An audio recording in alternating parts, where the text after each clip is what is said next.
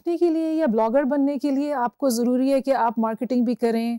आपको पता हो कि आप अपना पोर्टफोलियो वगैरह कहाँ पोस्ट कर सकते हैं, कहाँ, कौन से वो वेबसाइट्स हैं या प्लेटफॉर्म्स हैं जहाँ पे आप जाके असाइनमेंट्स ले सकते हैं। लेकिन सबसे इंपॉर्टेंट ये है कि आपको लिखना आता हो। तो लिखने के क्या स्किल्स होने चाहिए? Let's have a look at दोस्त इसमें बेसिकली तो ये है कि आपको ये कॉन्स्टेंटली याद होना चाहिए कि आप राइटर हैं। यानी कि आप हर वक्त तैयार हों कि आप इर्द गिर्द देख रहे हो नोट्स बना रहे हो, चीज़ों को राइटर की नज़र से देख रहे हो।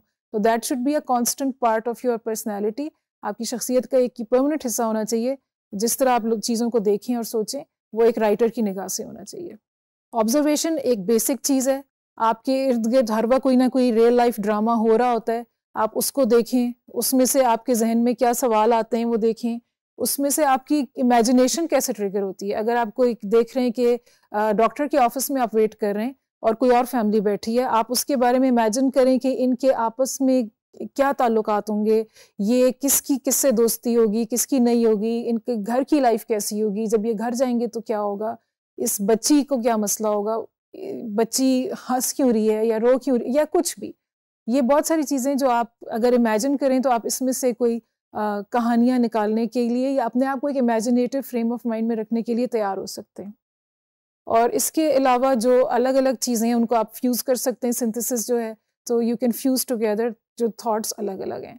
तो जैसे कि आप हेल्थ इश्यूज़ को फैमिली uh, इश्यूज़ के साथ फ्यूज़ करके आप उसके बारे में कोई ब्लॉग बनाने का सोच सकते हैं। While you're sitting in the doctor's office and looking at the other patients और waiting in the waiting room interpretation जब कोई आप बात सुन रहे हैं, कोई मुकालमा सुन रहे हैं, कोई सियासत के ऊपर बहस हो रही है, कोई दुनिया के हालात पे बहस हो रही है, लोगों के मोटिव्स के बारे में, जानने के बारे में सोचें। सोचें कि ये शख्स ऐसे क्यों कह रहा है, इसके पीछे क्या कहानी है? उसको इंटरप्रेट करें कि इसका, इसमें क्या मकसद हो सकता है या इसके पीछे क्या है। तो उससे फिर आपको एक, जब आप लिखेंगे भी तो उसमें आपके कैरेक्टर से बनाएँगे, उसमें एक ये एक्स्ट्रा डायमेंशन होगी और डेप्थ होगी थोड़ी सी। जैसे कोई भी अगर आपकी दोस्त भी बात कर रहे हैं तो उसमें देखें कि उनकी पर्सनल स्टोरी क्या है, उनका बैकग्राउंड क्या है और जो वो अभी इस वक्त फील कर रहे हैं how does that connect to their emotional background या जो उनकी, उनके साथ पहले हो चुका है, उसका असर इनकी इस वक्त की बात के ऊपर कैसे हो रहा है। तो हर वक्त ये जो बैक एंड पे चीज़ें जो इंटरप्रिटेशन है अंडरलाइन चीज़ें उसकी खोज में रहा करें और सोचा करें। कंपेयर और कॉन्ट्रास्ट करें, कोई चीज़ अभी कैसी है, पहले कैसी थी इस शख्स के रिएक्शन में एक ही सिचुएशन है, इस शख्स का रिएक्शन कैसा है और उस शख्स का रिएक्शन कैसा है और इसकी क्या वजह है? सो कॉन्स्टेंटली एक इंटेलेक्चुअल आपकी जो है एक्टिविटी ऑन होनी चाहिए as a writer and that's a good skill to have for a writer basically question and seeking meanings from their surroundings कोई भी चीज़ एवं ही नहीं होती, कोई उसका मकसद हो सकता है, कोई उसके मानी हो सकते हैं तो आप you should be alert to that and you should और जहाँ पे कोई आपको सामने चीज़ ना नज़र आ रही हो, आप उसको इमेजिन करें। क्योंकि that is what writers good writers are suppose to do suppose to imagine research skills ज़ाहिर है, आपने जो भी टॉपिक है, चाहे आप उसके बारे में कितना भी जानते हो, आपको कुछ ना कुछ उसके बारे में तहकीक करनी पड़ेगी।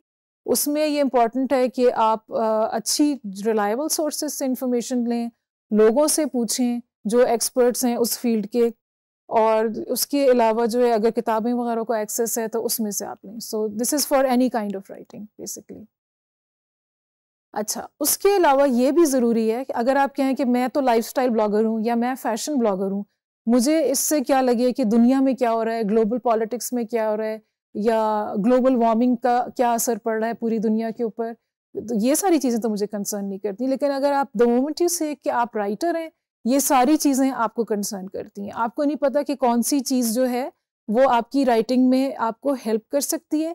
और अगर आप ग्लोबल पॉलिटिक्स से या रीजनल पॉलिटिक्स से या नेशनल इश्यूज़ से अवेयर हैं तो आप कैसे उनको रिफ्लेक्ट कर सकते हैं? तो उसमें आपको एक एक्स्ट्रा डेप्थ आपके काम में और एक एक्स्ट्रा इंटरेस्ट आ सकते हैं। आपको ज़्यादा आपके लिखे हुए को ट्रैफ़िक मिल सकती है, ज़्यादा शेयरेबिलिटी हो सकती है। एक मॉडल थी, उन्होंने अभी रिसेंटली साल 2017 में मेरे ख्याल में एक अवार्ड्स शो हुआ था। उसमें उन्होंने स्कूल की बच्ची का यूनिफॉर्म पहना था और उसके पीछे उन्होंने लिखवाया हुआ था कि से नो टू चाइल्ड मैरिज तो उस प्लेटफॉर्म तो कुछ और था, उसमें उन्होंने फ़ैशन का वो था, लेकिन उन्होंने, क्योंकि वो अवेयर थी कि ये एक इशू है, और ये लड़कियों की जल्दी शादी कर देती हैं और वो स्कूल नहीं जा पाती बच्चियाँ हमारे गाँव में स्पेशली तो उसके लिए उन्होंने स्कूल का यूनिफॉर्म पहन के और अपनी शर्ट के पीछे लिखाया था और उनको बहुत उसके ऊपर अप्लॉज मिला, बहुत लोगों ने उसको दिलचस्पी से देखा और उनको शोहरत भी मिली उसके ऊपर। तो फ़ैशन और गर्ल्स एजुकेशन और गर्ल्स राइट्स को उन्होंने मिक्स uh, करके एक अपनी स्टेटमेंट दी। वो तो खैर एक उन्होंने फ़ैशन शो के ऊपर दी लेकिन ये कि ये सारे इश्यूज़ आपस में जुड़ते हैं इसलिए ज़रूरी है कि एज अ राइटर आप सब चीज़ों से अवेयर हो। किसी आप अखबार को या न्यूज़ फ़ीड को सब्सक्राइब करें ताकि आपके पास वो इन्फॉर्मेशन आती रहे आप उसकी एटलीस्ट हेडलाइंस देखते रहें और आपको पता हो कि क्या हो रहा है। तो उसको और आप यू नेवर नो कौन सी चीज़ आपने किस तरह से अपने लिखे हुए में शामिल करनी है। तो these are all important things और it will enrich your writing in ways that you don't even know हो सकता है आप सोचें इससे मैंने क्या करना है? बट जस्ट डू इट आप पढ़ें और आप देखें कि फिर इससे it will make things interesting कुछ मिसालें हैं किताबों की जिनमें के हैं तो uh, लोगों के बारे में ड्रामा है गॉन विद द विंड एक बहुत पुरानी uh, कहानी है अमेरिकन सिविल वॉर के ज़माने की है। It's a love story Scarlett O'Hara का कैरेक्टर है उसमें। फ़िल्म भी उसके ऊपर बनी है लेकिन वो जो सिविल वॉर हुई थी, जब स्लेवरी अबॉलिश हो रही थी अमेरिका में, उस कॉन्टेक्स्ट के अंदर सेट की हुई है। तो लव स्टोरी का उसमें एक एंगल है और बाकी जो पॉलिटिकल एंगल है वो एक और है and that's what makes it a classic और वो अभी तक फ़िल्म भी शौक से देखी जाती है और किताब भी अक्सर लोगों ने फेवरेट बुक्स में इसको कहा हुआ होता है। तो ये सारी चीज़ें जो है वो इकट्ठी चलती हैं। जो कैरेक्टर्स हैं वो किसी कॉन्टेक्स्ट के अंदर ही होते हैं, वो they are not in a vacuum somewhere moth smoke Mohsin Hamid की किताब है, लाहौर की लाइफ के बारे में और उन्होंने जो ये सारा एलीट सोसाइटी का पजेरो कल्चर और ड्रग्स और ये सारा, उसके ऊपर उन्होंने बहुत उनकी समझ है, उस कल्चर के अंदर उन्होंने अपने कैरेक्टर्स के इश्यूज़ और उनके आपस के रिलेशनशिप्स दिखाए हैं। So again it's set in a context और ये भी बहुत मशहूर हुई got a lot of acclaim the wasted vigil और कामदा शमसी की अभी जो आई है होम फायर ये भी मकबूल किताबें और इनको तो Kamila Shamsie has been has gotten a few awards also और इनमें भी सीरिया का, अफ़गानिस्तान का टेररिज्म एक्सट्रीमिज़म ये वाले इश्यूज़ भी हैं। But basically their stories of people लेकिन ये कि एक लार्जर कॉन्टेक्स्ट है जिसके अंदर के उनको सेट किया हुआ है। और ये आइडियाज़ आपको, ये नहीं होगा कि अब कहानी लिखने बैठे हैं तो अब आप सिर्फ़ देखें। You have to build this resource throughout हर वक्त आपको पढ़ रहे होना चाहिए अवेयर होना चाहिए। ये नहीं कि उसी दिन सिर्फ़ आप पढ़ने बैठे हैं, जिस दिन आपने कोई, किसी चीज़ के बारे में किताब लिखनी, ताकि आपके पास लेयर्स ऑफ़ इंफॉर्मेशन हो जो आप यूज़ कर सकें। रीडिंग हैबिट रीडिंग हैबिट को जितना भी एम्फोसाइज करें वो कम है क्योंकि दैट इज़ द बेसिस बहुत सी एप्स हैं चीज़ें हैं कि आप ग्रामर अपनी कैसे इम्प्रूव करें वोकेबलरी कैसे इम्प्रूव करें लेकिन जब आप पढ़ेंगे तो आपको सही कॉन्टेक्स्ट और सही तरीका उसका समझ में आएगा। प्रेसिडेंट्स uh, बड़े बड़े मुल्कों की किताबें पढ़ते हैं कॉरपोरेट हेड्स पढ़ते हैं बिल गेट्स अपने लिए हमेशा टाइम निकालते हैं पढ़ने का। तो अगर ये लोग पढ़ सकते हैं तो मैं और आप भी, हमें भी टाइम निकालना चाहिए पढ़ने के लिए। और ये लोग इसलिए पढ़ते हैं क्योंकि इनको पता है कि इनको इमीडिएट फ़वाद हासिल होते हैं पढ़ने से। इन लोगों की फेवरेट किताबों की लिस्ट हमेशा आप देखें, कभी फेसबुक पे आ भी रही होती हैं। बाकायदगी से पढ़ें, मुख्तलिफ़ तरह की चीज़ें पढ़ें। कोई चीज़ पसंद आई है तो उसको दोबारा पढ़ लें। अक्सर आपको लगेगा दोबारा पढ़ेंगे तो आपको लगेगा अच्छा ये इसमें ये था, ये तो मुझे याद ही नहीं था। ये ना सोचें कि नहीं, मेरे पास बहुत सा टाइम होगा ना तो फिर मैं पढ़ूँगा। बेशक थोड़ा सा टाइम हो स्लाइसिस ऑफ़ टाइम आपके पास हो और इसको ये ना करें कि बस होने से पहले ही पढ़ना है। बीच में कहीं वेट कर रहे हैं आ, कहीं जा रहे हैं अगर जहाज़ में ट्रैवल कर रहे हैं या उसमें किसी गाड़ी में तो खैर पढ़ा नहीं जा सकता लेकिन किसी ऐसी सवारी में जिसमें आसानी पढ़ा जा सकता है तो अपना टाइम ज़रूर यूटिलाइज करें। या वेट कर रहे हैं फ़्लाइट का या बस के आने का तो उतनी देर में ज़रूर पढ़ें और अपने पास रखें हमेशा पढ़ने की मवाद। उसमें जो अच्छे अल्फाज हैं अच्छे जुमले हैं खूबसूरत फ्रेजेस हैं, उनको अपने पास नोट करें कॉपी करने के लिए नहीं, लेकिन इंस्पिरेशन ड्रॉ करने के लिए। तो that will be interesting resource for you और कोई हो सकता है उनके आइडियाज़ से आपको कोई अलग आइडिया आए, जो कि उससे स्पार्क हुआ हो। तो वो भी आप अपने जर्नल में फिर नोट कर सकते हैं। So these are all important things अच्छा किताबें ख़रीदने के, हो सकता है किताबें सारी अवेलेबल भी ना होती हों यहाँ पे हमारे लिए और हो सकता है कि महँगी भी पड़ती हूँ। ओल्ड बुक शॉप्स वैसे तो बड़े शहरों में हैं, लेकिन अगर छोटे शहरों में नहीं भी हैं तो आप लोग किताबों को मुफ़्त में डाउनलोड भी कर सकते हैं। मैशेबल डॉट कॉम एक है जगह जहाँ से किताबें मिल सकती हैं। इसके अलावा और भी बहुत सी सोर्सेज हैं जहाँ से आप फ्री में किताबें डाउनलोड करके और ये अपना शौक पूरा कर सकते हैं। अच्छा राइटर के लिए एक लर्निंग एटीट्यूड बहुत ज़रूरी है। उसको ये कभी नहीं सोचना चाहिए कि अच्छा बस ठीक है, ये मैंने बस करते ही रहना है ना तो ये बस मुझे पता है कैसे करना है और मैंने इसको रिपीट पे ही करते रहना है। तो उस तरह से जो है ना, वो उसमें यकसानियत आ जाएगी। काम में भी जो अगर खुद वो एक्साइटेड नहीं है, अपने काम में या नई चीज़ें नहीं सीख रहा तो उसके लिखे हुए में भी वो रिफ्लेक्ट करेगा।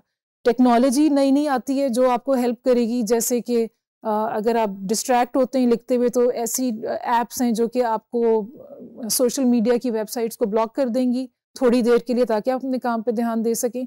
तो बी अवेयर ऑफ़ कि टेक्नोलॉजी आपको क्या क्या चीज़ें और सहूलियात दे सकती है। मेक यूज़ ऑफ़ दोज अपना डेली जर्नल लिखें। ये आपकी एक प्रैक्टिस है कि आप उसी से लिखने से आप सीखेंगे, उससे आइडियाज़ निकलेंगे, हो सकता है किसी दिन कोई ख़ास बात हुई आप लिखिए and then you can go back to it later कि अच्छा मैंने उससे मिलता जुलता कुछ लिखना है let see what I had noted क्योंकि आप जितना भी सोच लें कि मैं ये मुझे तो ये याद रहेगा चीज़ें याद नहीं रहती उस तरह। So it's important to make note of things जब आप कुछ नया सीखना चाह रहे हैं और if you are open to learning तो you have to be open to criticism and feedback also जो अक्सर आपके Uh, करीबी दोस्त भी आपको सच फीडबैक दे सकते हैं जो आपको लोग ज़्यादा पसंद नहीं करते वो भी आपको क्रिटिसाइज कर सकते हैं। कुछ लोग जो आपको थोड़ा बहुत जानते हैं वो सिर्फ़ तकल्लुफ़न या अखलाकन आपकी तारीफ़ कर सकते हैं। सो ट्रस्ट द पीपल जो आपको सच्चा फीडबैक देते हैं और उन्हीं से आप फीडबैक और क्रिटिसिज्म रिक्वेस्ट करके भी लें ताकि आपके काम में और उसमें बेहतरी आ सके। इसके अलावा ये स्टीफन किंग की एक और कोट है, उन्होंने कहा है write with the door close and rewrite with the door open यानी कि लिखने, पहली बार जब आप लिखें तो ठीक है इट्स एन आउटपोर आप फ्री राइट कर रहे हैं, आप अपना एक्सप्रेशन कर रहे हैं। लेकिन जब आप उसको एडिट करें और दुरुस्त करें तो ये जहन में रखें कि आपकी ऑडियंस को क्या पसंद आएगा पढ़ने वाले क्या महसूस करेंगे तो that should be a part of your consideration उसको आप खातिर में लाना पड़ेगा आपको. इंटेग्रिटी Uh, किसी भी काम को अच्छा करने के लिए स्पेशली क्रिएटिविटी के लिए आप फॉर्मूलेक काम भी कर सकते हैं लेकिन अच्छा क्वालिटी का काम करने के लिए आप में इंटेग्रिटी होनी चाहिए. अपना ओरिजिनल काम करें. Uh, अगर आपने कहीं से कोई चीज़ ली है उसके लिए क्रेडिट दें. जो डेडलाइंस आपने ली हैं, उनको मीट करें और जो आप असाइनमेंट अगर किसी ने आपको दी है लिखने की और आप you getting paid for it तो कोशिश करें कि अपना आप बेस्ट काम करके अपने क्लाइंट तक या अपनी ऑडियंस तक पहुंचाएँ। So these are a few things to keep in mind these are some skills that writers should have